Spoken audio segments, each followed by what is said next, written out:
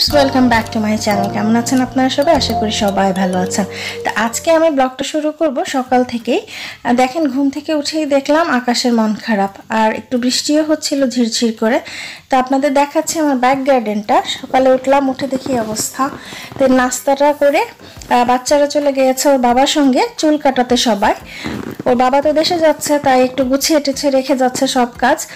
আর আমি এখন শুরু করব রান্না। তো আজকে রান্না করব আমি তিনটা আইটেম আপনাদের সামনে যেটা দেখতে পাচ্ছেন, সেটা বলেন কি? শুটকি। ড্রাই ফিশ যেটাকে বলে। এটা আসলে পাঁচমিশালি মাছের শুটকি, যেটা আমার শাশুড়ির নিজের হাতে বানানো। আমি বাইরের কেনা শুটকি কমই খাই।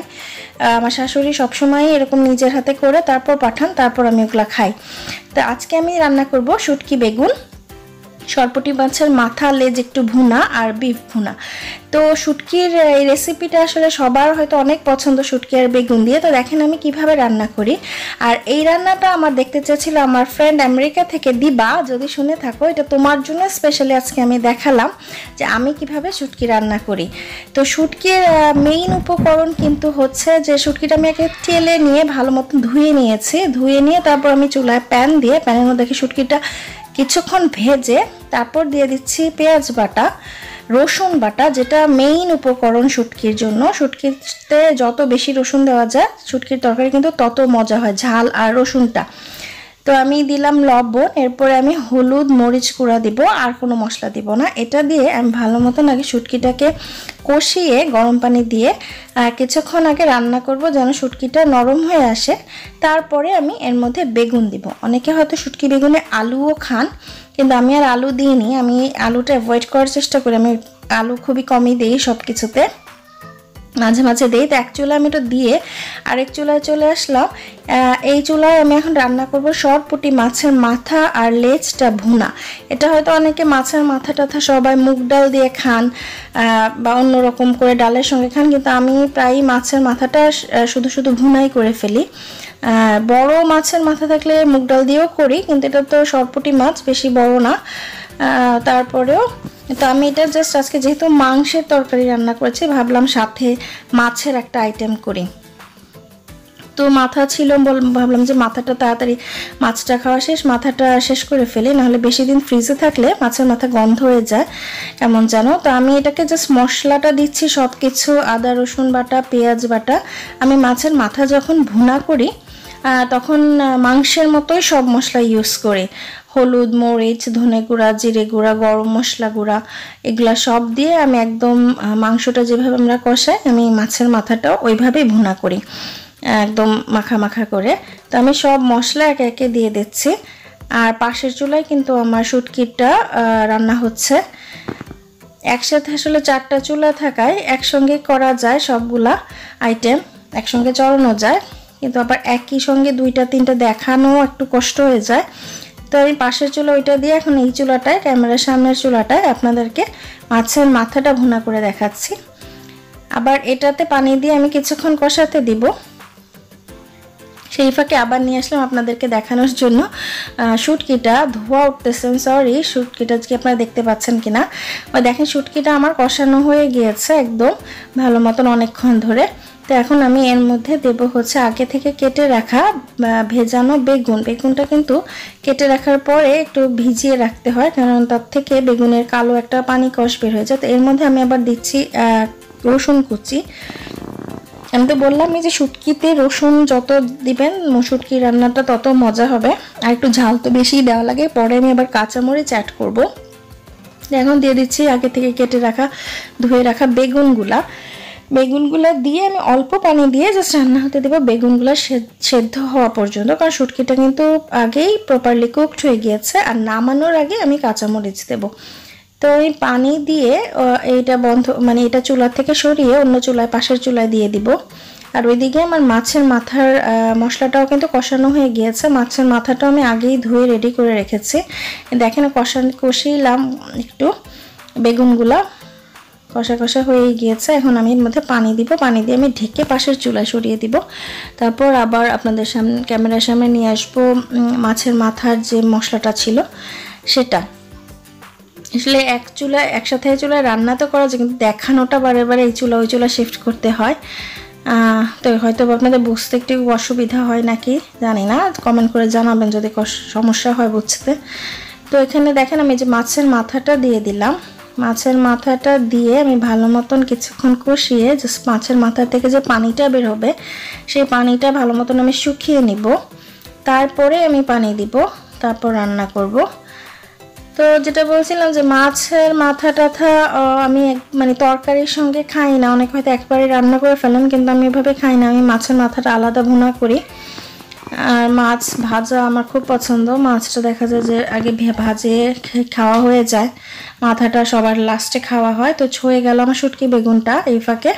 তো আমি এখন কাঁচামরিচ দিয়ে পানিটা একটু টানা পর্যন্ত ওয়েট করব। তারপর আমি এটা নামিয়ে নিব। তারপর ওই চুলায় আমি আবার দিয়ে দিব হচ্ছে, আজকে করতেছি বিফ ভুনা। তো বিফটা চড়াবো আমি এখন। দেখেন আমি বিফটা কীভাবে চড়াই। আর সামনে তো কোরবানির ঈদ আসতেছে, সবাই মাংস টাংস রান্না করবেন। তো আমি ওই সময় দেখানোর চেষ্টা করব কিছু মাংসের রেসিপি আর কয়েকদিন পরে। তো আজকে আমি বিফ ভুনাটা দেখাচ্ছি, আমি কীভাবে করি। তো আমি ফার্স্টে আমি প্রেশার কুকারে রান্না করি বিফটা তো মাংসটা আমি আগেই ধুয়ে, ভিজিয়ে ঝরিয়ে নিয়েছি পানি। তার জন্য আমি প্রেশার কুকারে তেল দিলাম। তেল দিয়ে গরম মশলাগুলো সব দেবো, তেজপাতা লবঙ্গ, দারচিনি, এলাচ সব কিছু যা যা সবাই দেয় আসলে মাংসের তরকারিতে তেগলা সবাই দিবেই। আদা, রসুন, বাটা তেগলা দিয়ে আমি তেলে দিয়ে কিছুক্ষণ ওয়েট করব, গন্ধটা ছড়ানো পর্যন্ত। তারপরে আমি দিয়ে দিব হচ্ছে এক এক করে কাটা পেঁয়াজ, আদা, রসুন, হলুদ, মরিচ, জিরা, ধনে, গরম মশলা, এই তো, এই কয়টা জিনিস সব কিছু দিয়ে, আর ওই ফাঁকে দেখেন পেঁয়াজটা ভাজা ভাজা হতে আমি আপনাদের মাছটা দেখাচ্ছি। দেখেন মাছটা কিন্তু হয়ে গিয়েছে আমার। মাছের উপর আমি একটু কাঁচামরিচ দিয়ে দিয়েছি। তো দুই মিনিট জাস্ট চুলাটা কিন্তু বন্ধ করে আমি ঢেকে রাখব। কাঁচামরিচটা সেদ্ধ হয়ে যাবে।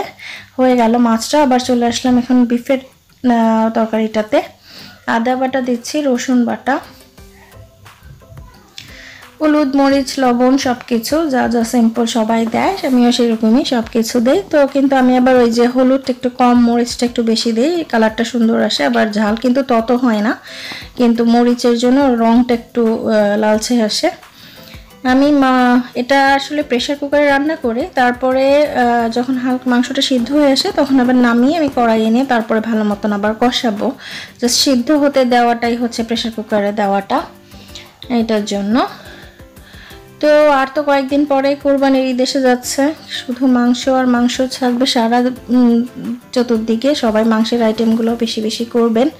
তো যেটা জিনিস আরেকটা কথা বলি, যে খেয়াল রাখবেন যে আজকাল এমনি তো ডেঙ্গু ছড়াচ্ছে। আশেপাশটা আপনারা পয় পরিষ্কার রাখবেন।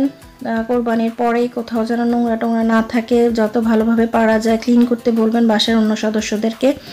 বাসারও কিচেন বা অন্যান্য জায়গায় যেন মশা মাছে আসতে না পারে, সেটা খেয়াল রাখবেন। তো গল্প করতে করতে হয়ে গেল প্রেশার কুকারে দিয়েছিলাম, হয়ে গেল। তো আমি কড়াইয়ে নামিয়ে নিয়েছি। কড়াইয়ে নামানোর পরে আমি এখন দিয়ে দিব একটু কাঁচামরিচ আর হচ্ছে একটু আলু বোখারা। আমি এবার আলু বোখারাটা খুব পছন্দ করি। সব মাংসের তরকারিতে আমি আলু বোখারাটা দিই, আমার কাছে মজা লাগে। আর কাঁচামরিচের স্মেলটাও তার হয়ে গেলে পরে আমি উপর দিয়ে জাস্ট একটু জিরা গুঁড়া দিয়ে দিচ্ছি। আর একটা কাজ আমি যেটা করি, মাংসটা হয়ে আসলে পরে, সেটা হচ্ছে আমি আমার মাংসটাকে একটু বাগার দিই, মাংস রান্নার শেষের দিকে এসে। জাস্ট নর্মাল একটু তেলের মধ্যে কাঁচা পেঁয়াজটা একটু ভেজে উপর দিয়ে বেরেস্তার মতন দিয়ে দেই। আমার কাছে মনে হয় জিনিসটা, মাংসের টেস্টটা ঘ্রানটা আরও ভালো হয়। সুন্দর লাগে ঘ্রানটা তো হয়ে গেল, দেখেন আমার মাংস রান্না শেষ, আমার পেঁয়াজ বেরেস্তাও হয়ে গিয়েছে। তো আমি এখন দিয়ে দিয়ে এটা ঢেকে দিব। বাস, আজকের মতন আমার রান্না বান্না শেষ। এখন আমি আপনাদেরকে আমার কিচেনটা দেখাবো। আমি পরিষ্কার করে ফেলব ফাঁকে খাওয়ারগুলো টেবিলে দিয়ে আমি যেটা করি, আমি রান্নার পরেই আমি কিচেনটা ক্লিন করে ফেলি। ফেলে রাখি না পরের জন্য, কারণ একবার ক্লিন ক্লিন করে তারপর আমরা শাওয়ার করে সবাই খেয়ে টেয়ে উপরে চলে যাই। নামাজের সময় হয়ে যায় ততক্ষণে। তো আমি আর পরে আর তো এখনও রান্না বান্না থাকে না, শুধু ভাত রান্না করতে হয় রাতের জন্য। তো সেটা তো রাইস কুকারে করি। তো এই জন্য আর চুলার কোনো কাজ থাকে না। আমি এই জন্য ক্লিন করে টেবিলে দিয়ে দিলাম। খাওয়াগুলো দেখতে পাচ্ছেন। তো এই তো আমার ছোট্ট রান্নাঘর আর মহিলাদের তো সবারই মনে হয় রান্নাঘরটা সবচেয়ে প্রিয় জায়গা। বেশি সময় কাটে রান্নাঘরে আর আমার মতো যারা রান্না পাগল আছেন, তাদের তো রান্নাঘরেই থাকতে মনে হয় বেশি ভালো লাগে। আমার তো প্রতিদিনই রান্নাঘরে দুই আড়াই ঘণ্টা, তিন ঘণ্টা কাটে। তো দেখেন আমার রান্নাঘরটা আমি মুছে ক্লিন করে ফেললাম সব কিছু চিনচাম একটা রান্নাঘর আমার, বেশি কিছু নাই, এইটুকুই। তো আশা করি আপনাদের ভালো লাগল আজকের ব্লগটা। তো যারা এখনও সাবস্ক্রাইব করেননি, তারা প্লিজ করবেন। আর যারা দেখেন, একটু লঙ্গার সময় নিয়ে দেখবেন, ভালো লাগবে, আপনারা কমেন্টস করবেন। ভালো থাকবেন সবাই, আমাদের জন্য দোয়া করবেন। আবার হাজির হব নতুন কোনো ব্লগ নিয়ে। সেই পর্যন্ত সবাইকে অনেক শুভেচ্ছা। আর আল্লাহ হাফেজ।